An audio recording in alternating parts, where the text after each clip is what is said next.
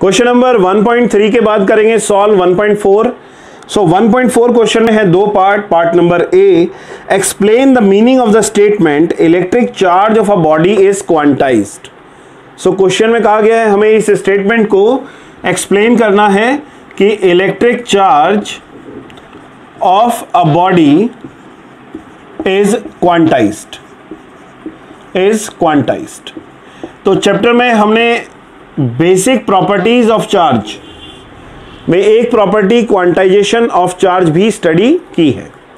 So what is quantization of charge quantization of charge का मतलब है Q is equal to plus minus N E अब यहाँ पर जो E है, इसको बोलते हैं elementary charge this is your elementary charge या फिर हम इसको कहते हैं basic elementary charge particle basic elementary charge particle या फिर कुछ बुक्स में आप पढ़ेंगे electronic charge.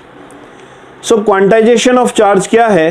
कि जब भी आप दो बॉडीज को एक दूसरे के साथ में रब करते हैं तो एक बॉडी से दूसरे बॉडी में आपके जो बेसिक एलिमेंट्री चार्ज पार्टिकल है दैट इज़ इलेक्ट्रॉन वो ट्रांसफ़र होते हैं। सो so, जब भी इलेक्ट्रॉन ट्रांसफ़र होगा वो हमेशा इंटीजर नंबर में ही ट्रांसफ़र होगा।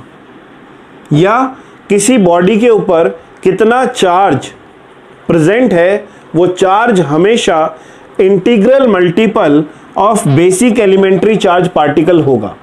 और एन की वैल्यू आपकी यहाँ पर ज़ीरो वन टू थ्री इस तरीके से होती है। तो कुल मिला के बात यह है कि चार्ज किसी भी बॉडी पर फ्रैक्शन पर प्रेजेंट नहीं होता या फ्रैक्शन में ट्रांसफ़र नहीं होता। It always exist in the integral multiple of basic elementary charge particle so quantization of charge या electric charge of a body is quantize का यही मीनिंग है कि electric charge always exist in integral multiple of basic elementary charge particle और E का magnitude आपको पता है that is 1.6 point six into ten की पावर माइनस नाइनटीन कूलम ये आपका चार्ज होता है इलेक्ट्रॉन पे और प्रोटॉन पे। इलेक्ट्रॉन के केस में हम यहाँ पर माइनस यूज़ करते हैं और प्रोटॉन के केस में हम यहाँ पर प्लस यूज़ करते हैं। So this is the answer of your first part electric charge of body is quantize लिखेंगे कैसे? तो इसमें आपने ये लिखना है according to the statement the electric charge on a body always exist in integral multiple of basic elementary charge particle that is q is equal to n into e now question number 1.4 b part so in b part why can one ignore quantization of electric charge when dealing with macroscopic large scale charges जब आप large scale charges large amount of charge से deal करते हैं तो आप इस concept को क्यों इग्नोर करते हैं why you ignore quantization of electric charge तो देखो, हमारे पास क्वांटाइजेशन का फॉर्मूला है that is N into E अगर मैं आपसे कहूँ कि वन माइक्रोकूलम में कितने नंबर ऑफ़ इलेक्ट्रॉन्स प्रेजेंट है तो हम कैसे सॉल्व करेंगे? N is equal to Q upon E so N अगर मान लीजिए मैं आपसे कहूँ वन माइक्रोकूलम तो वन माइक्रोकूलम का मतलब क्यू की वैल्यू वन माइक्रोकूलम जब आप इसे सॉल्व करेंगे वन माइक्रोकूलम अपॉन में one point six into ten की पावर माइनस नाइनटीन कूलम। आप माइक्रोकूलम को भी कूलम में कन्वर्ट करेंगे इंटू टेन की power minus six coulomb. So इसको सॉल्व करेंगे तो आपका आंसर आएगा six point two five into ten to the power twelve इसका मतलब ये हुआ कि वन माइक्रोकूलम में, वन माइक्रोकूलम में इतने नंबर ऑफ़ इलेक्ट्रॉन्स प्रेजेंट है। ये तो सिर्फ़ वन माइक्रोकूलम में। टेन की पावर माइनस सिक्स कूलम में। इतने स्मॉल अमाउंट ऑफ़ चार्ज में इतना large number of electrons present है। इतना large number of electron present है। तो अगर आपसे मैक्रोस्कोपिक वर्ल्ड में लार्ज स्केल चार्जेस की बात करेंगे, जिसमें कूलम में होगा तो वहाँ पर तो ये नंबर बहुत ज़्यादा चला जाएगा। बात समझ रहे वन माइक्रोकूलम में इतने नंबर ऑफ़ पार्टिकल्स हैं इतने नंबर ऑफ़ इलेक्ट्रॉन्स हैं। अगर हम लार्ज स्केल चार्ज की बात करेंगे तो ये नंबर बहुत ज़्यादा हो जाएगा जो कि प्रैक्टिकल इंपॉर्टेंस नहीं रखता। सो so, आंसर में आप लिखेंगे in one microcoulomb of charge 6.25 into 10 to the power 12 electrons are there if we consider large amount of charge then the number of charges or electrons is very very large which have no practical importance that's why we ignore quantization of charge in macroscopic world इसलिए हम ignore करते हैं तो ये है हमारा solution question number 1.4 B part अब करते हैं solve question number 1.5 question number 1.5 solve करेंगे when a glass rod is rubbed with a silk cloth कि जब आप एक ग्लास रोड को सिल्क क्लोथ के साथ, ये ग्लास रोड है, इसको आपने सिल्क क्लोथ के साथ रब किया।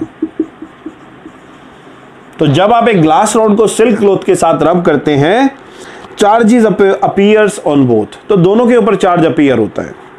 A similar phenomena is observe with many other pairs of bodies ये फिनोमिना बहुत सारे पेयर ऑफ़ बॉडीज के अंदर शो होता है, जो कि हम ट्राइबो इलेक्ट्रिक सीरीज़ में इस चैप्टर के एक्सप्लेनेशन में पढ़ चुके हैं।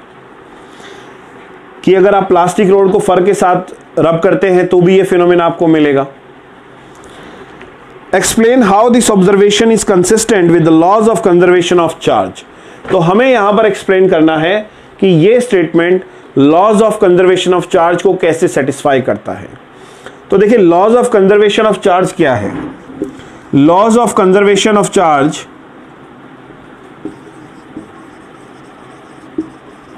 कहता है कि किसी भी आइसोलेटेड सिस्टम में, किसी भी आइसोलेटेड सिस्टम में जो टोटल चार्ज है, वो कंजर्व रहता है। ना तो आप चार्ज को क्रिएट कर सकते हैं ना ही आप चार्ज को डिस्ट्रॉय कर सकते हैं, आप सिर्फ़ चार्ज को एक बॉडी से दूसरे बॉडी पे ट्रांसफ़र कर सकते हैं। तो ऐसा ही यहाँ पर भी होता है।